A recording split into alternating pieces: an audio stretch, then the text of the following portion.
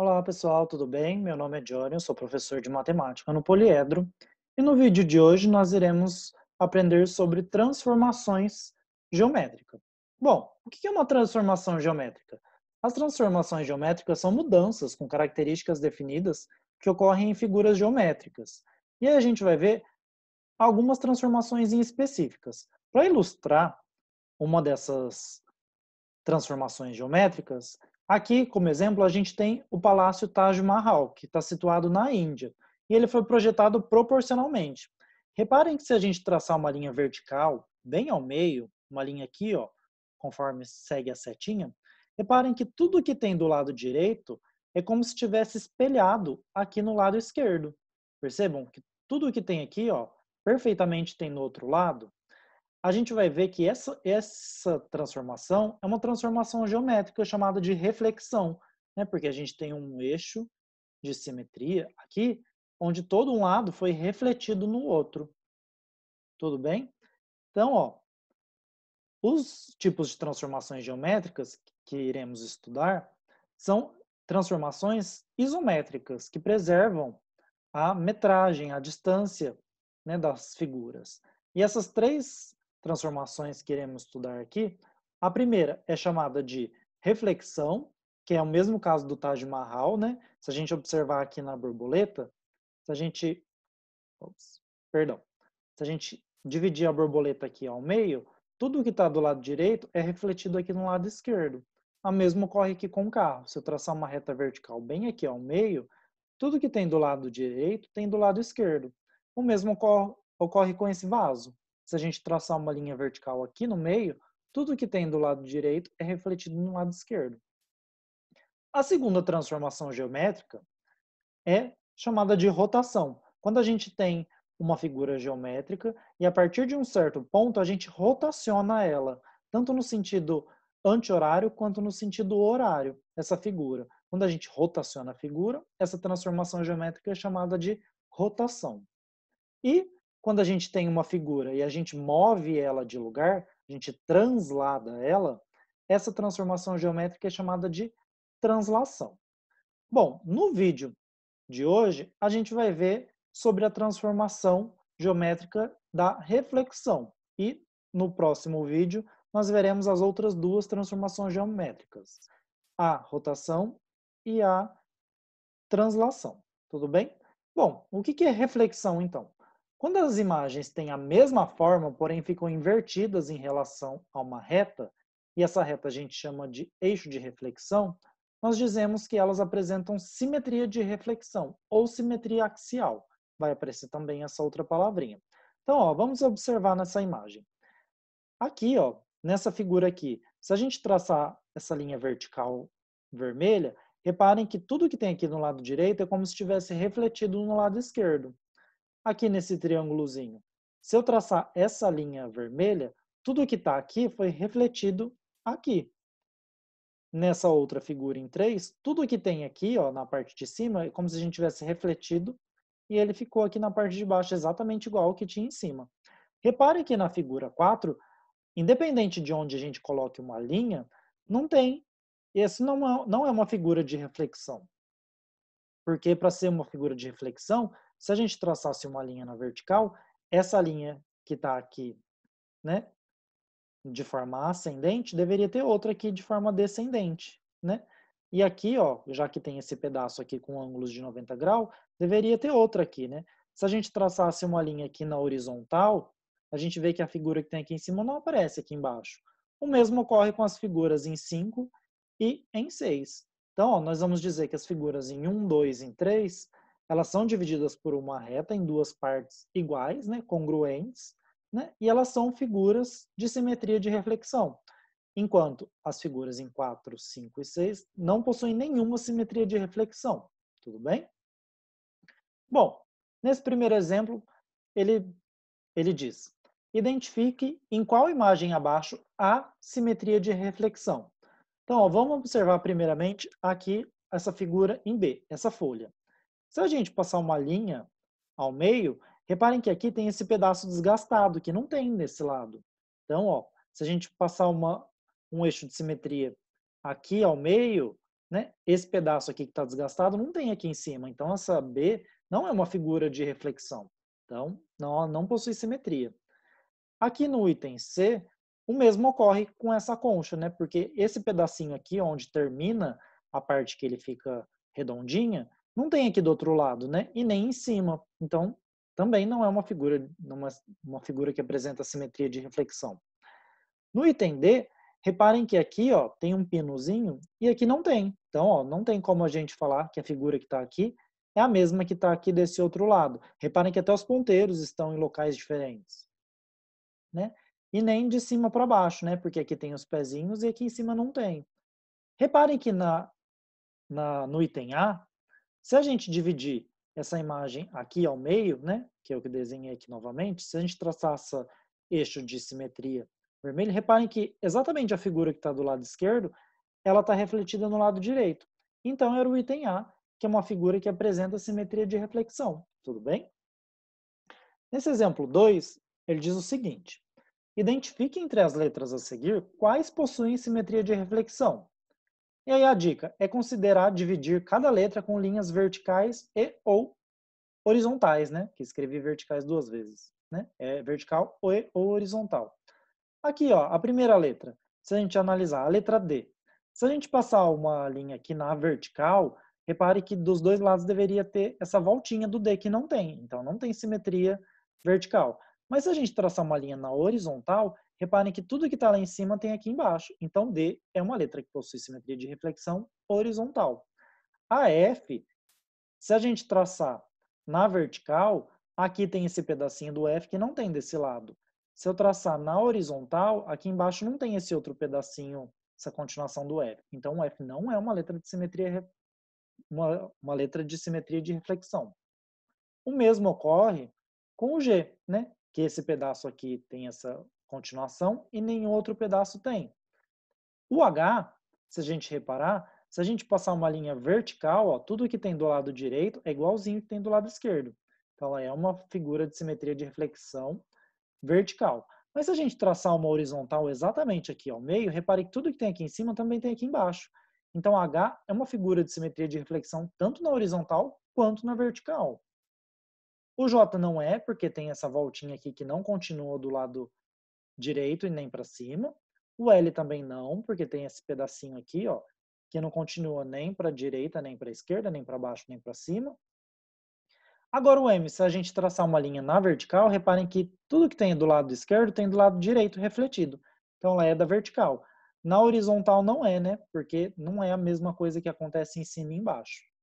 A letra N, se a gente tentasse dividir aqui e espelhasse, né, ia virar um M, né?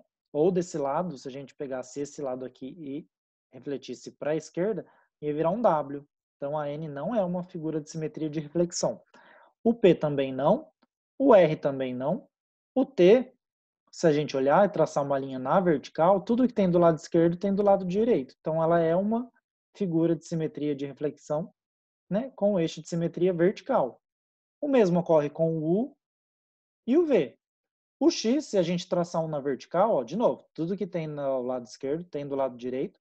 Se a gente traçar uma na horizontal, ó, tudo que tem em cima tem embaixo. Então, ela é os dois, tanto horizontal quanto vertical. E a Z não é a Y, né? Perdão. O Y, se a gente traçar uma na vertical, tudo que tem do lado esquerdo tem do lado direito. Se a gente traçar na horizontal, o que tem em cima não tem embaixo. Então, não é da horizontal, é só vertical mesmo. E a Z, né? Tudo que tem aqui do lado direito é diferente do que tem do lado esquerdo. Tudo que tem aqui em cima é diferente do que tem aqui embaixo. Né? Tá numa ordem ao contrário. Então, a Z não é uma figura de simetria de reflexão.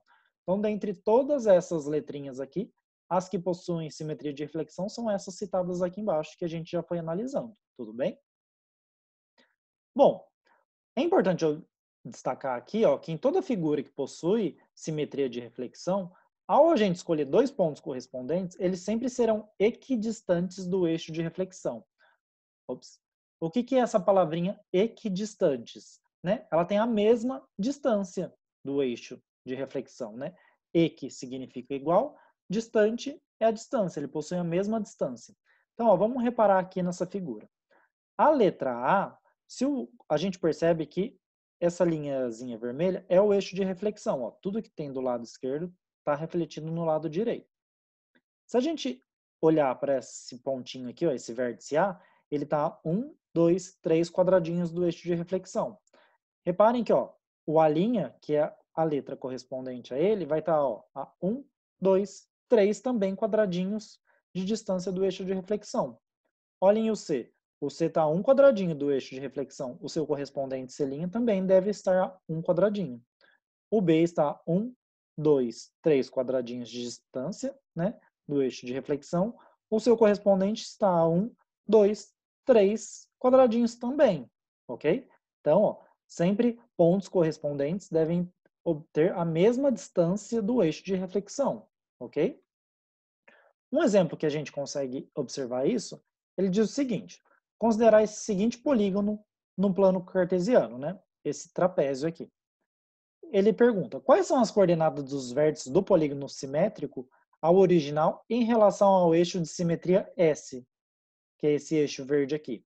Então, ó, a gente precisa, para desenhar esse trapézio aqui, com simétrico aqui em relação ao eixo de simetria S, a gente precisa olhar todos os vértices deles. Então, ó, repare que esse vértice aqui, que é quando o x vale 3 e o y vale 0, ele está a uma distância 1 do S. Então, eu preciso trazer ele a uma distância 1 também depois de S. Então, ele vai ficar aqui. Esse outro pontinho, ó, o 2, 0, ele está a uma distância 1, 2 de S. Então, ó, o correspondente dele precisa ficar uma distância 1, 2 aqui em 6, 0, ok? E o mesmo com o 1, 1 e o 1, 2. Então, ó, vamos lá para a resolução. Se a gente traçar o simétrico, então, ó, lá novamente, o ponto 3, 0 está a uma distância de uma unidade do eixo de simetria S. Então, ó, essa uma unidade vai ficar aqui no 5, 0. O vértice 2, 0 está uma distância 2, então preciso colocar uma distância 2 aqui. O ponto 1, 1 está uma distância ó, 1, 2, 3. Então aqui precisa ficar 1, 2, 3. Como aqui tem altura 1, aqui vai continuar com a altura 1, né? Porque ó, a simetria é só em relação ao S.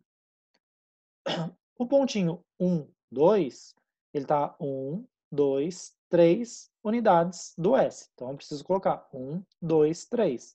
Então, os novos vértices dessa figura simétrica em relação ao eixo de simetria S possuem vértices 5, 0, 6, 0, 7, 1 e 7, 2, conforme listado aqui em cima.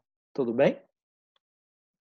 Bom, ó, Nesse próximo, próximo exemplo, ele diz o seguinte: trace todos os eixos de simetria possíveis em cada uma das figuras abaixo. A primeira é essa estrela. Repare que a estrela ela tem vários eixos de simetria.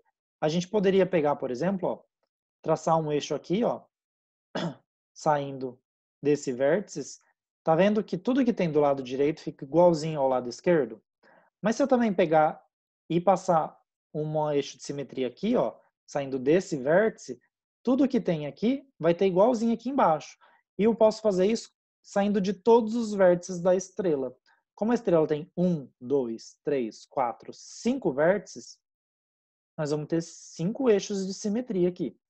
Repare que nessa figura, ó, se eu dividir ela ao meio com uma reta horizontal, tudo que tem em cima tem embaixo. Se eu dividir ela com uma reta vertical, repare que tudo tem do lado direito tem no esquerdo. Aqui a gente não consegue dividir ao meio, mas eu consigo dividir ó, ao meio com uma reta na vertical. Né? E tudo que tem do lado direito tem na esquerda. O mesmo ocorre com essa seta aqui. Aqui, ó, se eu traçar uma linha na horizontal, a figura que tem em cima é exatamente a mesma que tem embaixo, está refletida. Se eu traçar uma reta na vertical, tudo que está do lado direito é refletido no lado esquerdo. Então aqui a gente tem duas eixos de simetria.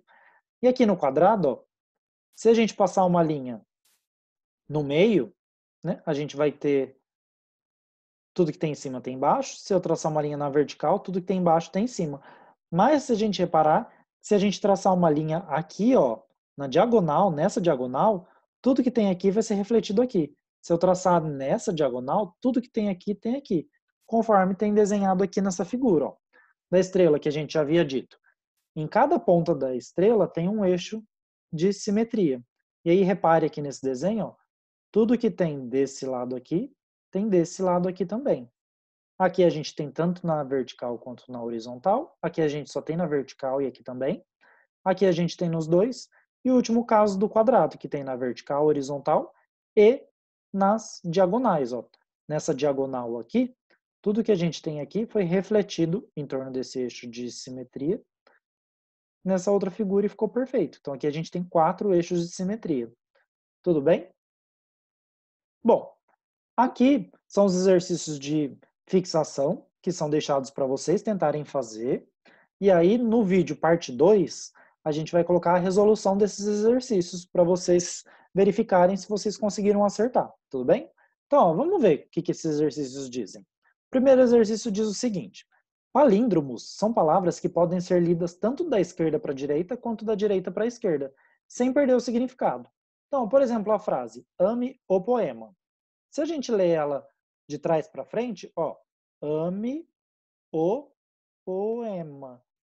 Tanto lindo da esquerda para a direita quanto da direita para a esquerda, ela diz a mesma coisa, sem perder o sentido. Então, essa frase é um palíndromo. Então, ó, explicando agora entendendo o que significa um palíndromo, ele diz, com base nisso, qual dos palíndromos abaixo possui simetria axial.